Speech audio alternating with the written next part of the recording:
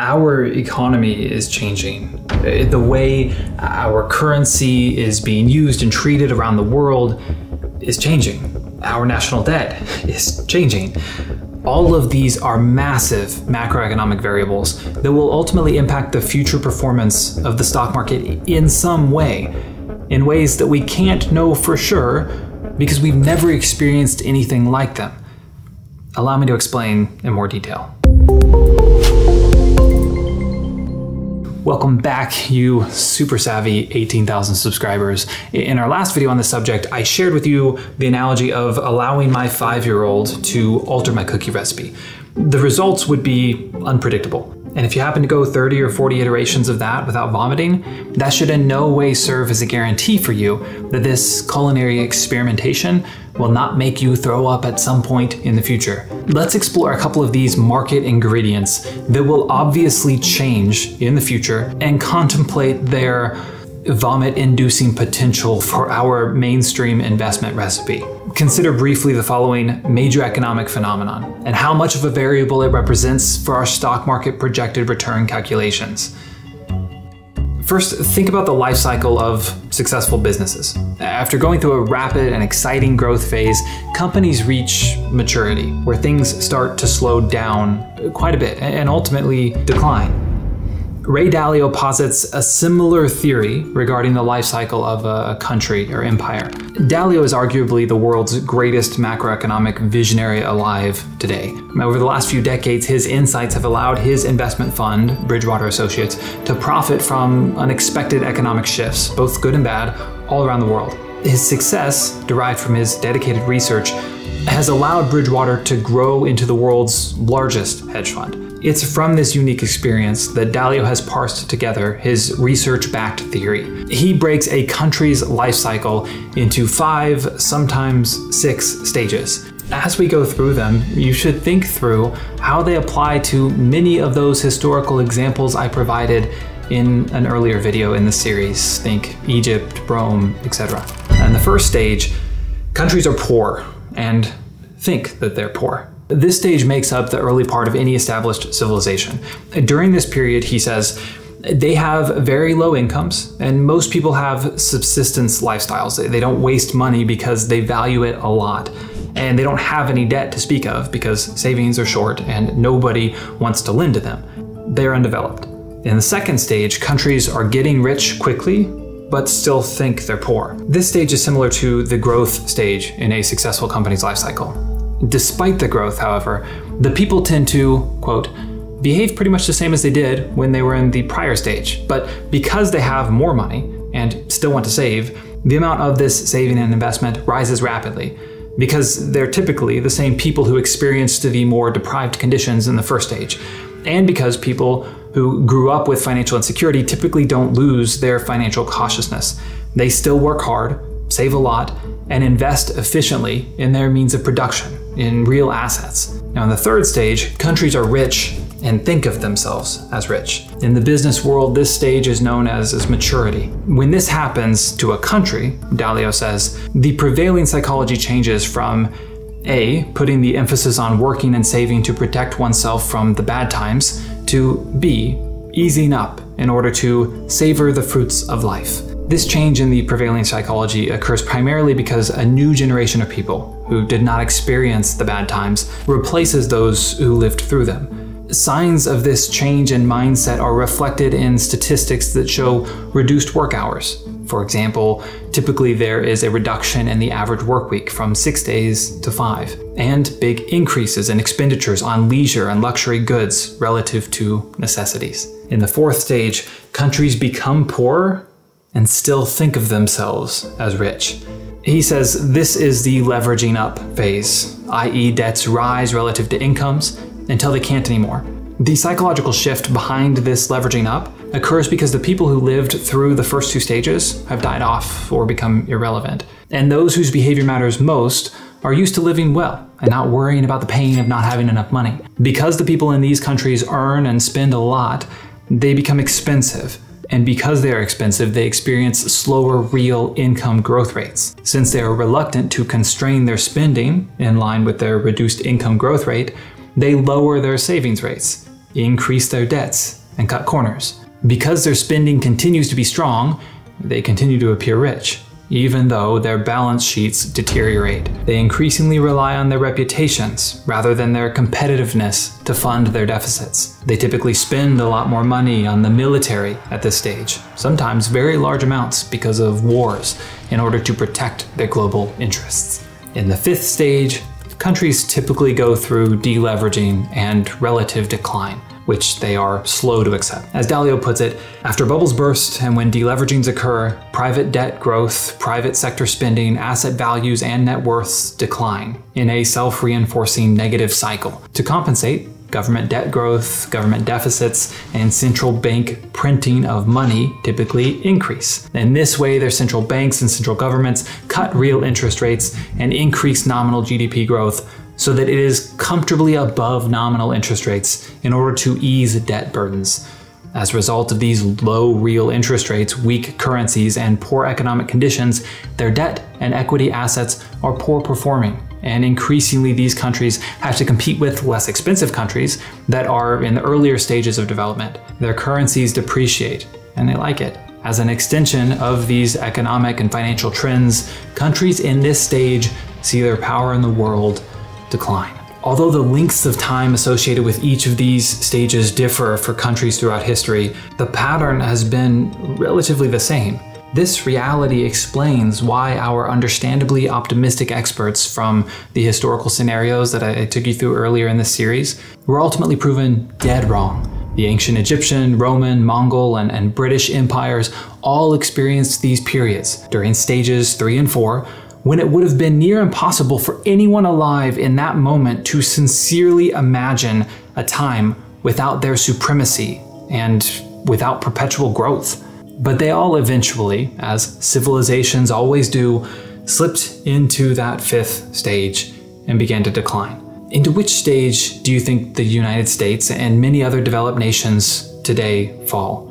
In which stage has the United States been during the majority of those 100 or so years of stock market data we've been relying upon, that everyone relies upon? Do you think a country's stock market returns should be expected to be similar during the various stages of their life cycle? Obviously, any market returns during the struggle of the first stage would be very different than those experienced during the prosperity of the third. But what about from the tail end of the fourth stage and beyond, when a country's growth slows? Is it still reasonable to expect the same market trajectory as we realized during prior stages? Remember Lowenstein's question from the very first video in the series? How do we know that the next new period won't change the story again? It almost certainly will.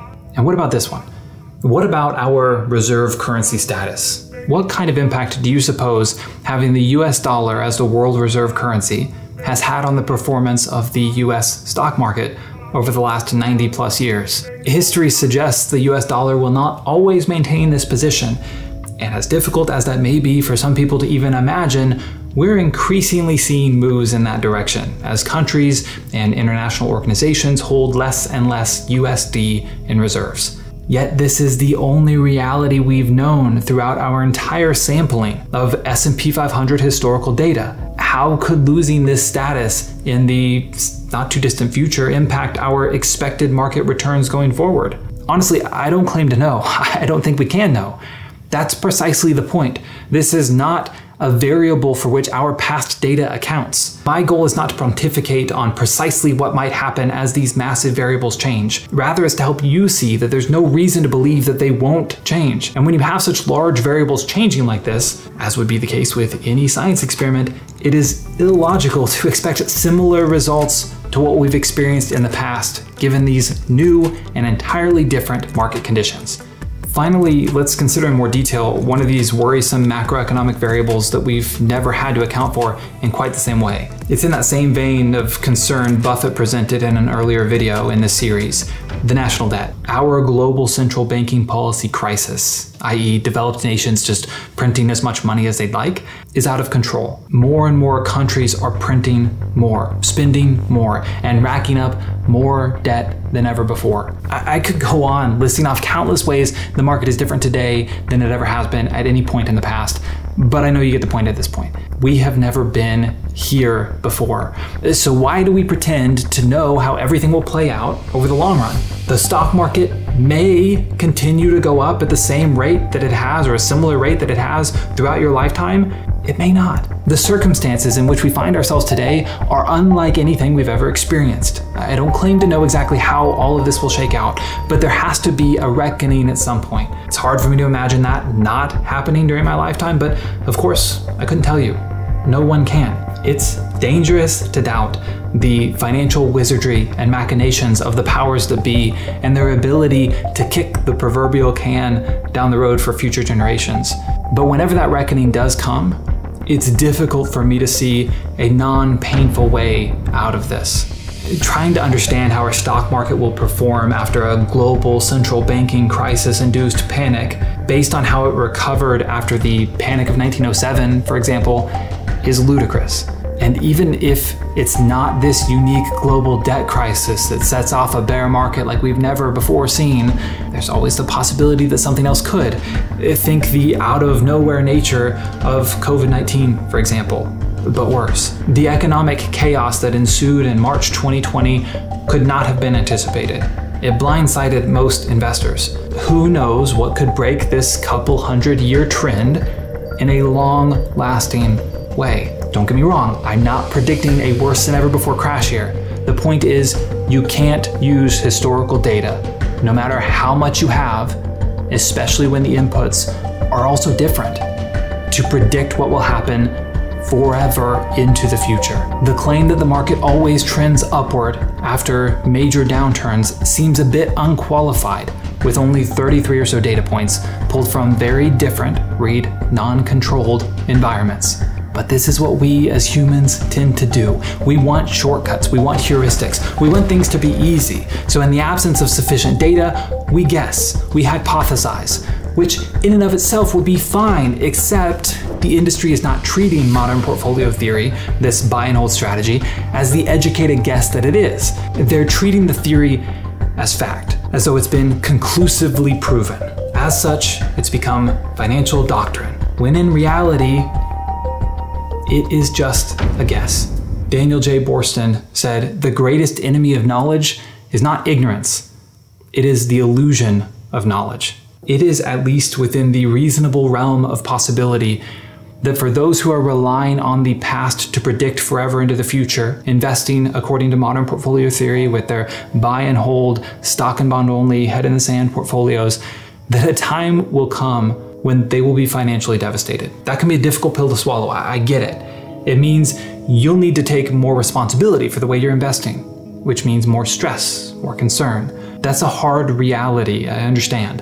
I'm not selling sunshine and rainbows here. That'd be so much easier.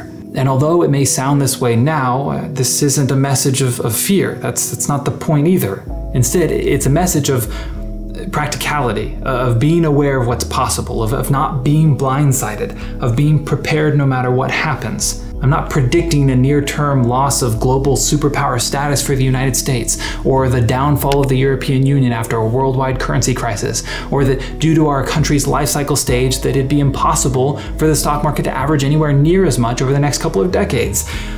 But I know for a fact that each of those, along with countless other scary scenarios, is a real possibility. When some people hear this message, they immediately write it off, interpreting it as me suggesting a total economic meltdown, utter chaos, the actual doomsayer scenario, that the stock market is no more, that all businesses go bankrupt, that the country is literally on fire. That is not, in fact, what I'm saying. The reason I spend so much time helping you understand and accept these possibilities is that once you do, you open yourself up to the reality of any future outcome in between. Sure, maybe a higher than ever before 30 year period of growth for the stock market is possible. It is, but given everything we just looked at, that hardly seems as likely as the possibilities in the other direction. Not to mention the fact that that wouldn't be a scenario for which you really need to be prepared. If that happens, yay, throw a party. But if the range of possibilities for our market investments also includes many average returns below, sometimes far below, those presented by mainstream financial experts, we might not want to invest quite so much of our life savings according to those mainstream strategies. You see, the alternatives to the stock market averaging between 7% and 12% over the next 30 years is not the market totally imploding and everyone losing all their money, you know, 100% decline. No, it's the stock market averaging an effective, say, 0% per year over the next 20 years leading up to your planned retirement.